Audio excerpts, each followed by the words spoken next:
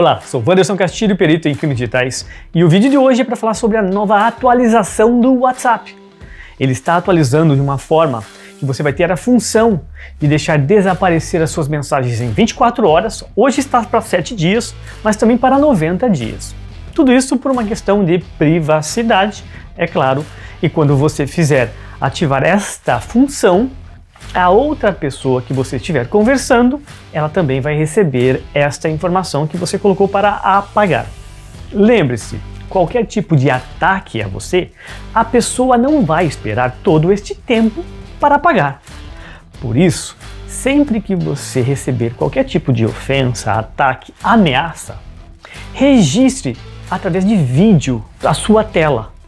Claro, se não der tempo, também um print screen não é muito válido assim na justiça, mas o vídeo ele já ajuda bastante. E se você tiver ainda mais tempo, ir até um cartório e fazer uma ata notarial, melhor ainda.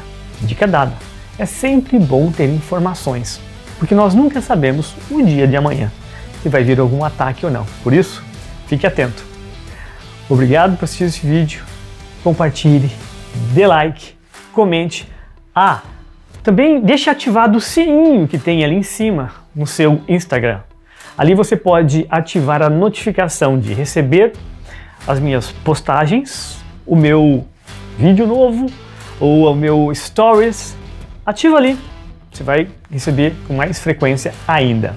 Obrigado e até mais.